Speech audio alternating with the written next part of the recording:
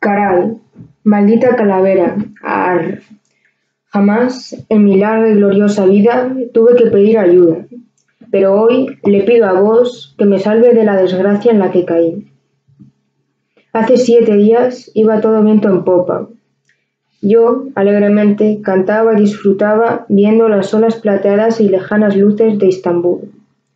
Cuando, caray, de repente y sin aviso, un maldito dolor vino desde el fondo del mar negro. Atravesó mi velero y se posó en una de las tres moras que me quedan. No solté ni una lágrima, pero grité tan fuerte que hice caer la luna detrás del horizonte, mientras Asia y Europa se pusieron a temblar. La tripulación vino rápidamente a socorrerme. El más bruto agarró fuertemente el diente, y el resto de mis valientes, uno detrás de otro, tiraban con toda la fuerza, pero no consiguieron nada.